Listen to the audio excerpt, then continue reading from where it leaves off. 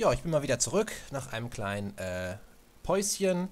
Und ähm, ja, wir haben jetzt natürlich hier ähm, in unserem Let's Play wirklich die Schlussrunde eingeläutet mit der letzten Schlacht. Also Polen haben wir erfolgreich verteidigt. Es kann sich jetzt halbwegs friedlich entwickeln. Und hier ist ja auch schon eine sehr, sehr ordentliche äh, Infrastruktur, auch gerade fürs Militär, sogar schon Berufungsgericht. Und die Armee hier hat ja auch schon Grenadiere und leichte Infanterie, also eine durchaus mit interessanten Einheiten gespickte Truppe. Und ähm, Breslau-Schlesien entwickelt sich auch ganz fantastisch. Ähm, und bei uns ist es jetzt wirklich so, dass wir, äh, ja, wie soll ich sagen, eigentlich nicht mehr allzu viel zu tun haben. Ich möchte, wie gesagt, noch einmal mit den Franzosen richtig in eine fette Schlacht mit den Dampfschiffen. In zwei Runden haben wir zwei weitere Panzerschiffe. Und wenn das der Fall ist, dann kann man vielleicht die Flotten verbinden oder so, mal gucken. Und äh, dann werden wir nicht die Österreicher, aber hier die Franzosen angreifen und uns noch eine fetzige, fette Seeschlacht mit ihnen liefern. Und ähm, ja, ich glaube, ich gehe weiter in die nächste Runde und wir ja, sehen zu, was sonst so passiert. Weiter geht's. Da kommt noch unser Spion. Und ein General. Das ist Kutosov, soweit ich weiß. Hariassis. Ganz schön weit.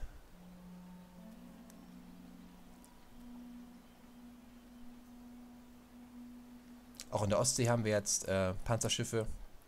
Und ich weiß nicht, ob wir Schweden, Finnland einfach abkaufen, ob wir es notfalls gegen irgendeine stinkreiche Provinz tauschen. Preußen bietet einen Friedensvertrag an. Ähm, den würde ich sogar annehmen, aber das heißt, dann könnten sie ja Polen erobern. Das möchte ich nicht. Ähm, deswegen lehne ich ab.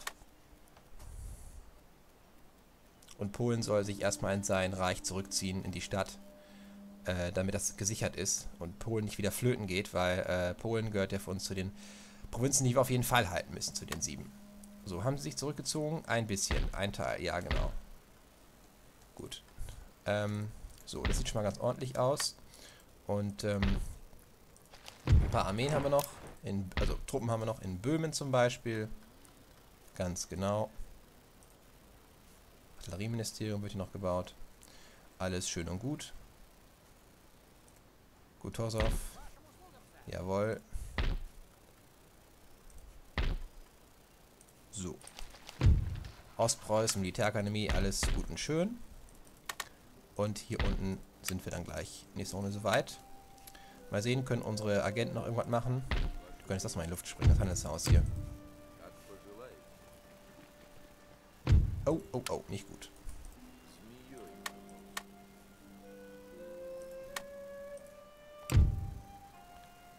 Äh, nope, Edine, das machst du mal nicht. Auch sieben, na egal. Okay, weiter geht's.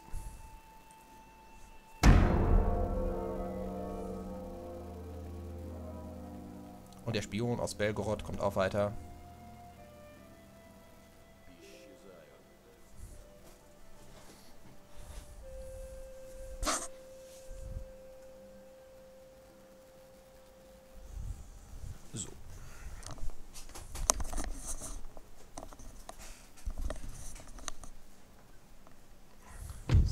Ventilator muss wieder laufen.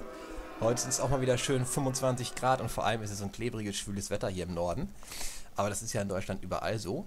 Äh, Bündnis gescheitert, Russland, Österreich. Och nö, das muss doch nicht sein. Das müssen wir gleich mal wieder. Äh, hallo? Verbündete. Preußen? Nee, darin liegt's nicht.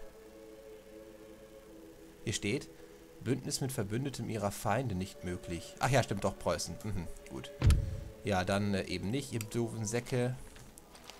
Und im Schwarzen Meer haben wir jetzt die Panzerschiffe und dann will ich auch ein, äh, jetzt entsprechend die ganze Flotte losschicken. Die kommt ziemlich weit. Äh, nee, das, achso, da habe ich mich getäuscht, das sah aus wegen dem Wasser. Bis dahin kommt es aber trotzdem ziemlich weit.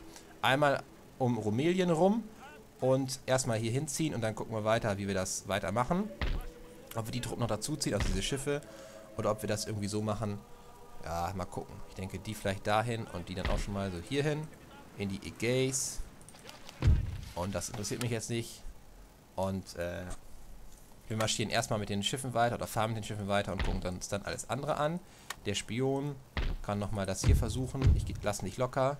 So, jetzt hat er es auch geschafft. Herzlichen Glückwunsch. Und ab nach Berlin. So. Da sitzt eine fette französische Armee, aber ohne General. Und weiter geht's.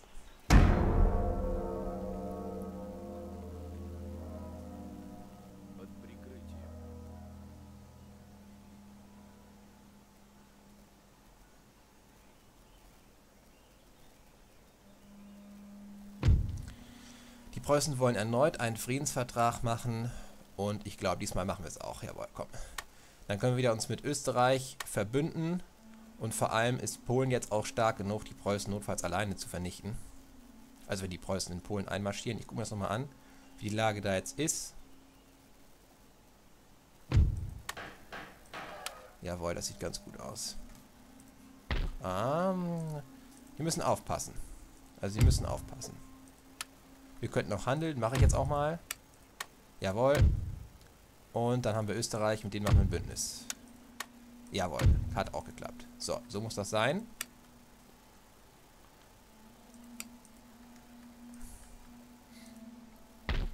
Und du blockierst mal hier die Brücke. So.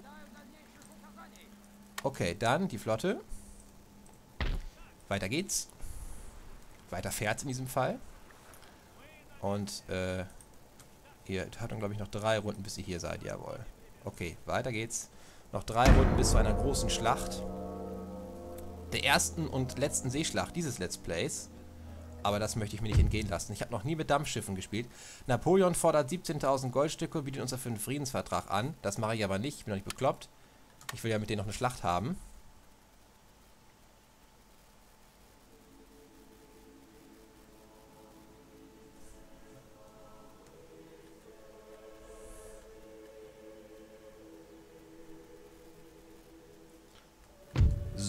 Auch in Moskau noch ein Spion, der kann ja von mir aus rein Gegenspionage betreiben. Sieht lustig aus. Jegor Derevenko, 27 Jahre jung. Und eine Freimaurerloge hier in Rumelien. Das ist ja auch ganz nett. Da kommen sicherlich bald noch ein paar Spione. Und die Österreicher haben sich ja zurückgezogen. Für uns ist das die Gelegenheit schlechthin, da mal, äh, das sind hier Gewürze. Oh, da kann man locker mal drei Schiffe hinstellen. Und die Dampfschiffe, die kommen auch entsprechend weiter. Und die schicke ich auch vorsichtshalber mit, die 380er normalen Schiffe. Und euch gleich hinterher. Haben wir eine, einen Schiffsvormarsch sondergleichen hier. Und weiter geht's. So. Der guckt sich in Polen um. Ihr müsst mal mehr Truppen in die Garnison nach Warschau schicken, ihr Dullis. Nicht, dass die Preußen ankommen. So, hm, naja, bisschen mehr immerhin. In Südfrankreich bleibt die Lage stabil. Jawohl. Smolensk. Hier ist jetzt ein neuer Spion. Es sind gleich zwei neue Spione. Jakov Strapkovic, 29 Jahre. Ist gut bei Schwertduellen. Na, wie schön. Der kann auch mal hier hinkommen. Und ein Kollege in Ostpreußen, der kann direkt mal mit den Preußen ein bisschen spielen. Attentat ausführen. Oh ja, bringt Blücher mal um. Ist eine gute Idee. Das war keine gute Idee, okay. Und Meister der Seefahrt. Ah. Plus 2% Bewegungsreichweite und plus 10 auf Sichtentfernung. Alles klar. Also der nördliche Admiral, der für uns jetzt keine große Rolle spielt, ist noch ein bisschen besser geworden. Aber ist ja nichts, nichts Schlimmes, ganz im Gegenteil. Und hier haben wir Sizilien. Einen unserer Verbündeten mit durchaus starker Garnison. Donnerwetter und einer Werft, aber ohne Flotte. Zumindest scheint's. Da, die Österreicher haben uns wieder den Posten weggeschnappt, die Assis. Und wir ziehen die Flotte nach. Und zum letzten Mal denke ich, oder zum vorletzten Mal sage ich, weiter geht's, Runde wenden. Da kommen sie schon an. Sie gehen natürlich auf die schwächere Flotte, die Idioten. Wir ziehen uns sofort zurück. Und sie kommen hinterher. Das will ich nicht spielen, das machen wir mal eben automatisch. Wir haben zwei Schiffe verloren. Die Franzosen haben sieben Schiffe verloren. Das ist ja sehr gut. Also haben wir sie schon mal automatisch ein bisschen geschwächt. Er will wieder Frieden und winselt um Frieden, das bekommt er aber nicht. Die Flotte hat keine Reichweite mehr. Und ja, jetzt sind sie ein perfektes Opfer für uns. Aber ich schätze, dass die Franzosen noch ihre starken Schiffe behalten haben und nur die schwachen verloren haben. Das ist mir mal ganz recht so. wenn es denn so ist, weil man dann eine schöne Seeschlacht zwischen den guten Schiffen hat und äh, nicht zwischen irgendwelchen Dulli-Schiffen. Also in Mähren noch einen Agenten. Du kannst mal nach Böhmen gehen, nach Prag, um dort ebenfalls Gegenspionage zu betreiben auf den letzten Metern dieses Let's Plays. Die Flotte ist in der Tat verloren und Vlad Brianski hat sein Spionagenetzwerk in Berlin aufgebaut und wir bomben da gleich mal das große Opernhaus in die Luft. Jawohl. Und das hat sich auch erledigt. Und wird erstmal teuer repariert werden müssen. So, hier haben wir Handelsschiffe und wir nehmen gleich mal zwei Stück, würde ich sagen, ab auf den Kaffee. Und da ist auch noch was, nochmal Kaffee. Da können wir auch nochmal zwei draufstellen. Und die letzten drei vielleicht hierhin zu den Gewürzen. Kaffee dürfte dadurch ein bisschen im Handel gesunken sein. Afrika jetzt 37 Säcke. Ach ne, 18 Goldstücke nach wie vor. Mittelmeer 74 Säcke. Da haben wir jetzt äh, Einkommen von knapp 24.000 Goldstücken. Das ist unglaublich. Und du, mein Freund, überfällst jetzt mal die französische Marine unter Pierre Charles Villeneuve. Auf geht's in die große Seeschlacht. Nein, sie ziehen sich zurück. Das gibt's doch nicht. Also hinterher. Jetzt aber. Nochmal Seeschlacht. So, jetzt können die Franzosen nicht mehr zurück. Und tatsächlich, sie haben die schwachen Schiffe verloren. Und die starken behalten. 122er behalten, dann ein 74er, was nur noch 57 Kanonen hat, ein 80er mit 65 Kanonen, zwei angeschlagene Fregatten und zwei angeschlagene Handelsschiffe. Oder ist das hier... Ach, das ist die Besatzung. Upsi, nicht die Kanonenzahl. Na okay, das, sie scheint ziemlich kött zu sein. Aber wir gehen trotzdem mal in die Schlacht. Wir sehen jetzt gleich sechs Panzerschiffe mit einem 6-Sterne-Admiral. Und ich bin echt gespannt, wie das aussieht. Auf geht's. Also das riesenstarke Duell wird das jetzt nicht, weil die Franzosen vorher so blöd waren, uns anzugreifen. Und ich wollte mich ja noch zurückziehen, aber tja, dann äh, haben sie es eben selbst verbaddelt. Aber mir geht es vor allem darum, diese Panzerschiffe mal zu zeigen und auch selbst mal zu erleben. Ich habe, glaube ich, nur ganz, ganz wenige Seeschlachten überhaupt mit denen im Multiplayer-Modus geschlagen, aber in der Kampagne, glaube ich, noch kein einziges Mal. Weil ich nie so weit gekommen bin, äh, diese Panzerschiffe echt zu erforschen, die ja ganz, ganz unten im Technologiebaum sind. Und naja, aber jetzt haben wir soweit. Da hinten sehen wir schon die Küste, also wir sind auf jeden Fall küstennah. Wir sind ja hier im Tyrrhenischen Meer, also kurz vor Sizilien. Wir sehen riesige Dampfschiffe mit äh, trotzdem mit Segeln ausgestattet und haben auch noch Rückenwind. Also wir haben echt alles, was das Herz begehrt. Mehr brauchen wir nicht und ich sage direkt mal, Gefecht beginnen, los geht's. Erstmal äh, sei gesagt, dass die Taktik bei Seeschlachten äh, sch schwieriger und zugleich einfacher ist als bei Landschlachten. Sie ist deswegen schwieriger, äh, weil äh, es die Problematik gibt, dass Schiffe sich unglaublich langsam bewegen, selbst wenn es Dampfschiffe sind.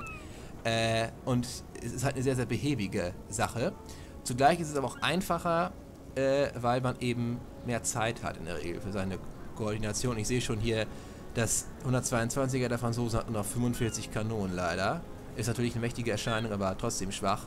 Die beiden Fregatten sind nicht der Rede wert und wir haben dann die 74er und die 80er sowie die Handelsschiffe, die ebenfalls stark angeschlagen sind. Die Fregatten haben ja sogar schon im roten Bereich noch ihre, äh, wie heißt, Panzerung. Und diese Dampfschiffe sind aber echt ein geiler Anblick. Also mit vollen Segeln plus mit diesem hübschen Dampfkessel hier, den wir uns hier ansehen können. Der äh, russischen Besatzung, alles schön in grün, wie es gehört. Und es raucht so vor sich hin. Am Anfang waren die Kapitäne gar nicht begeistert, dass es auf einmal jetzt äh, offenes Feuer an Deck geben sollte. Aber das hat sich dann ja auch noch geklärt. Ja, Metallplatten, genau. Jede Menge einsteckende Beschuss, beinahe jedes vergleichbare Schiff standhalten. Eiserne Außenhaut plus kommissioneller Holzrumpf. Und so, jetzt geht's auch schon los. Hoffe ich zumindest. Feuer, meine Lieben. Jawohl, es geht los. Da steht doch gerade eben feuert.